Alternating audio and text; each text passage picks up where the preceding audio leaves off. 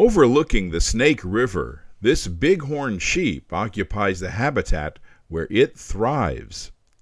Bighorn sheep are creatures of the mountains.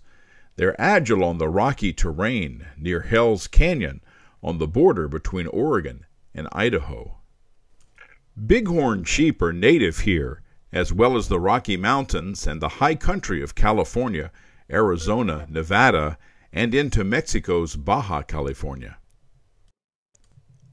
This is a group of females, ewes, and one lamb. During the early summer months, they graze on plants at the edge of the river. They are safe from land based predators here.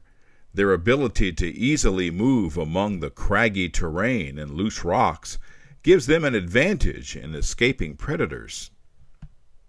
Their sharp hooves are shaped in a way that allows them to grip the rocky ground allowing easy movement.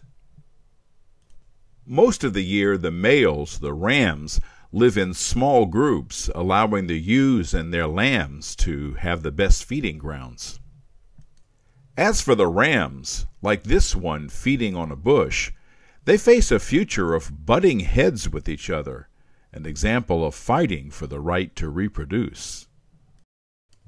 In mid June, travelers on the wild portion of the Snake River are rewarded with views of bighorn sheep on the rocky banks of the river.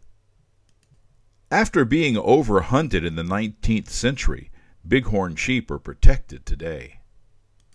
They continue to grace the mountain country along the Snake River.